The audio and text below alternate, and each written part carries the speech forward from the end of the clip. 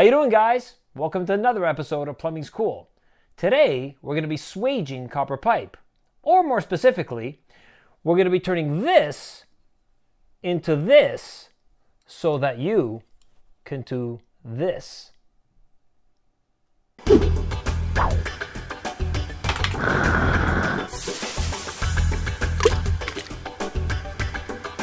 So what exactly is swaging? Well, effectively, what we're doing is we're taking a male end piece of pipe, otherwise known as a spigot, and we're enlarging it or stretching it out, kind of like when you blow up a balloon, using a special tool called a swaging tool. And by blowing it up, we're actually effectively creating a hub or female end so that you can actually eliminate the need for a coupling. So other than not requiring a coupling, some other benefits that this allows is now when you need to solder or braze the joint, you only need to make one joint. So that's less likelihood of failure, less likelihood of leaking. And of course, it's the added benefit of that now that because you're making fewer joints, of course, fewer labor and less material equals more money in your pocket. So let's take a look at how we do that. There are different kinds of uh, tools and methods for swaging copper pipe. You can buy drill bits that expand the pipe to a certain size. They have special expanders that allow the pipe to expand. But probably the simplest one, the one we're going to demonstrate for you today, is a punch type stepped expander, expander that will actually do several different sizes. In this case, up to half inch in diameter. So a step type punch expander is probably the most cost effective way for you to swage copper pipe.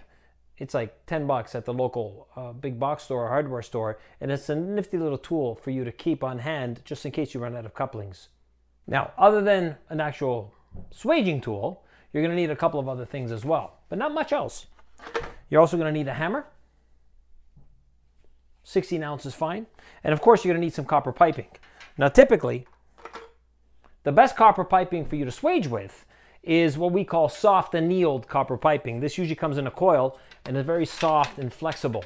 We can get away with swaging hard drawn copper piping, but you probably won't want to. Not with at least affecting the tempering of this first, because it's very hard and rigid, and it's going to be quite a quite a battle in order to um, stretch this out the, to the amount that you need to stretch it out.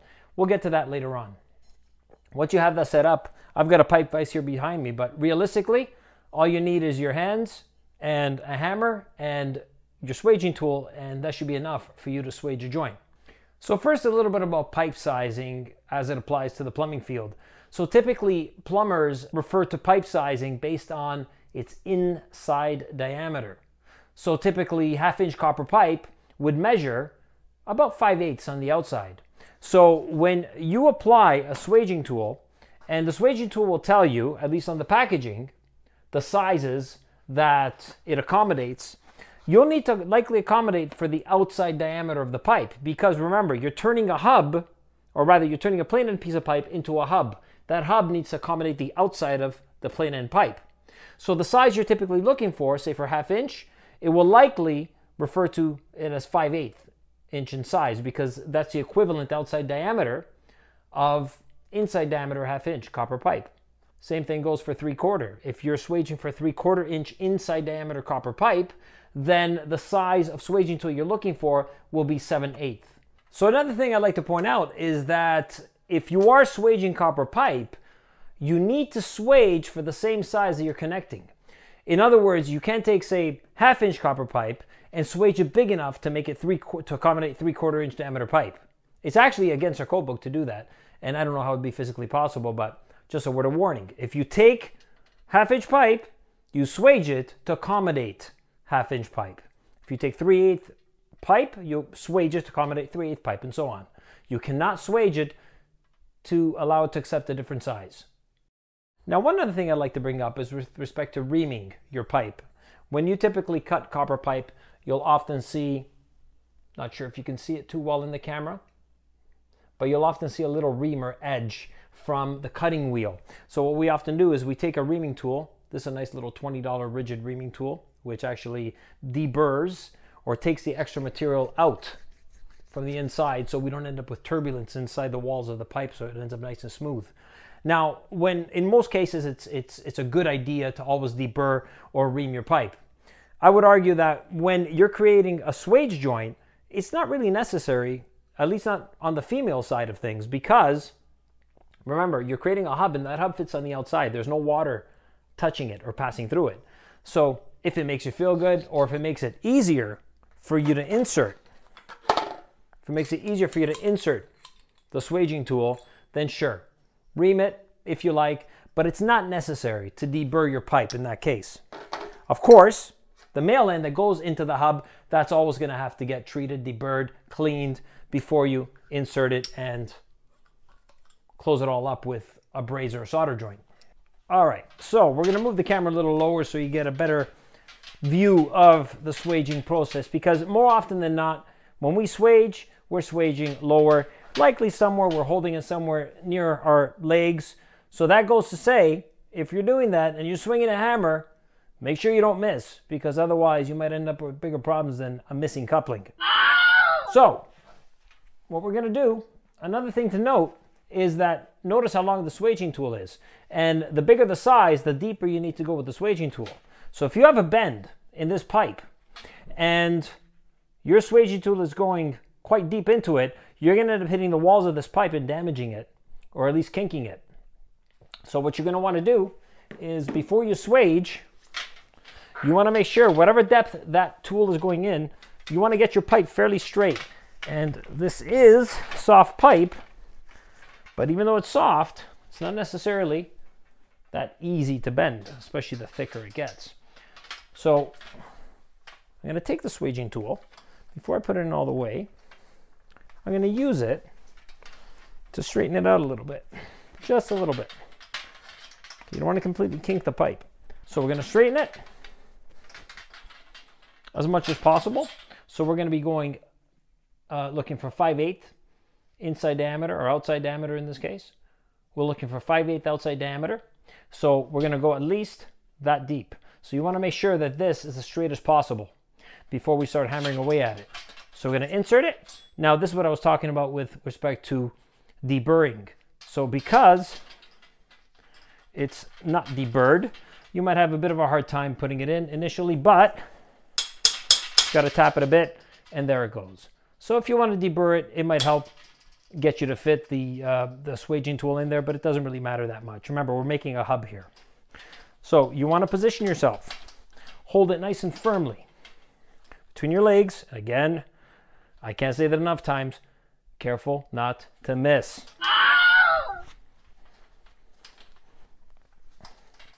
Here we go.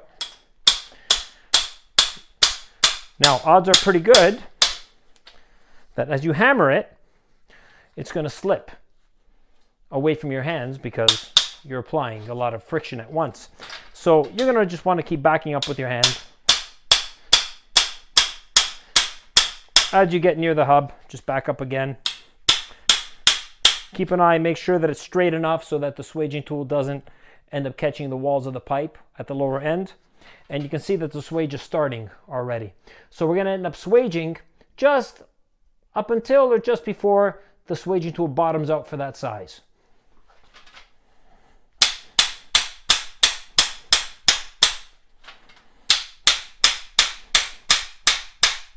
And almost there.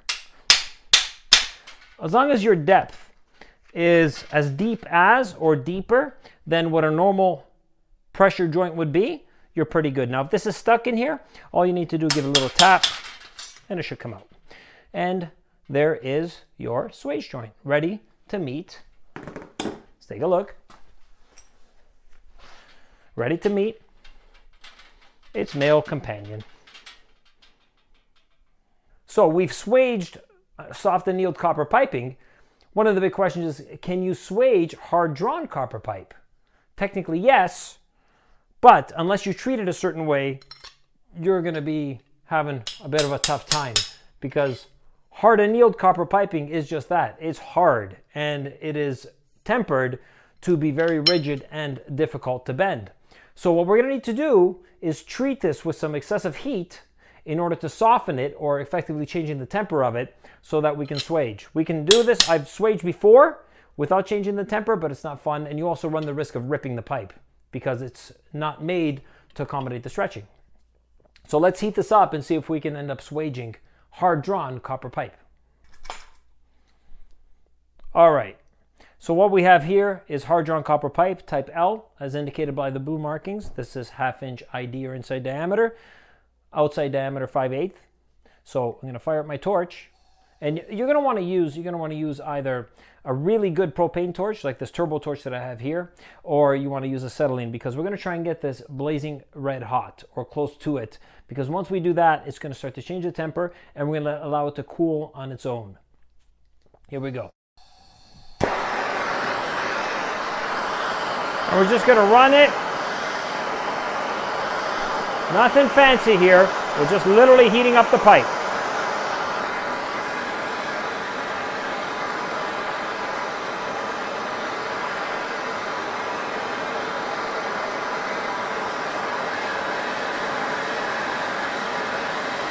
And really, you only need to heat up the end. You don't need to heat up the rest because this is the part that we're actually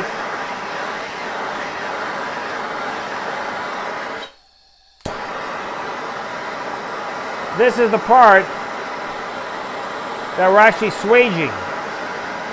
So when you see that it starts to discolor or get nice and red hot like we have here, when you see it glowing,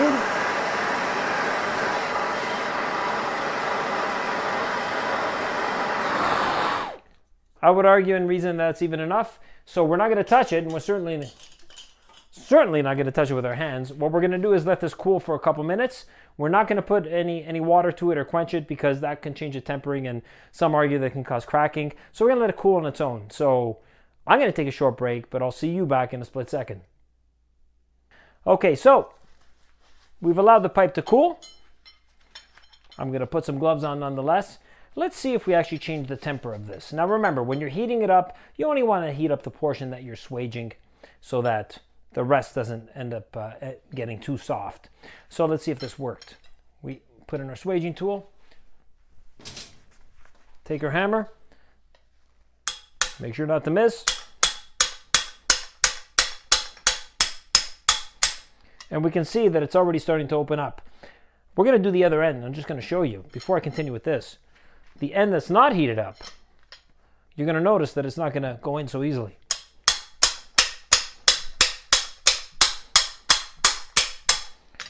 Barely started to open it.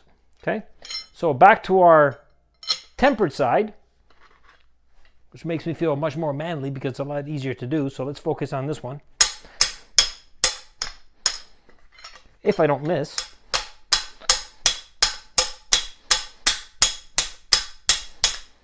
and it's starting to come through.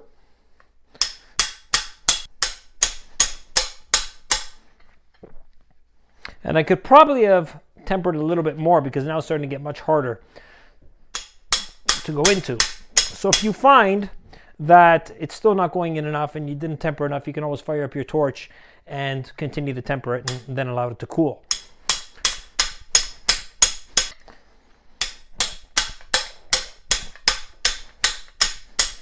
Remember, as long as you get it at least as deep as what a regular pressure fitting would be, you're good.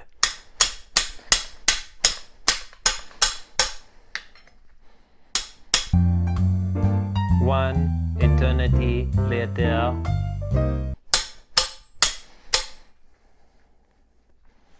And that's not bad. In hindsight, I would have tempered this a little bit more, but that's actually pretty good for demonstration purposes and it's going in about a half inch, which is typical for a regular fitting. And we may as well complete the process by giving you a little minor soldering intro or primer. I'm due to make a video on that as well, but for now, let's put together this swaged fitting. So you're gonna treat the hub just like a regular fitting. So you're gonna, of course, you're gonna clean the inside using a proper fitting brush. And you're going to take the male end or the spigot and clean it.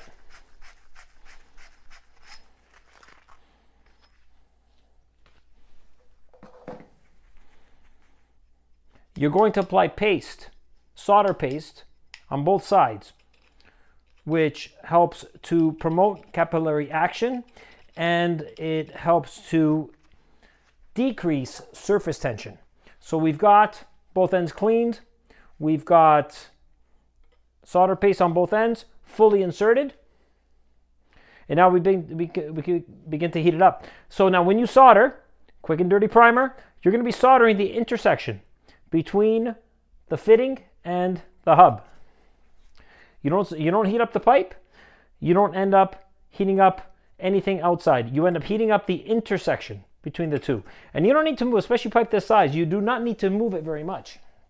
Because, especially because it's copper, copper is very good at transferring heat across its surface. So, I'm going to lower this a little bit so you can hear me better. If you notice, I'm not even moving around my torch. I'm just keeping it there. Starts to see some smoke. And I'm just going to run my solder bead at the top. Don't keep your solder there because you don't want the flame to melt your solder. You want the, the joint to heat your solder. And then you want to apply only enough solder so that anything that begins to come out at the bottom, any drips, that's enough. Your, your joint is full. Okay, once you start to see a drip and, and a, a building up of solder at the bottom, no more solder is going to get into your joint and you're done. Anything excess is going to drip to the floor and you're going to end up wasting solder excessively, essentially. Now, of course, once this cools off, You can give it a wipe to make sure that your joint is nice and clean. I'm going to speed this up a little bit.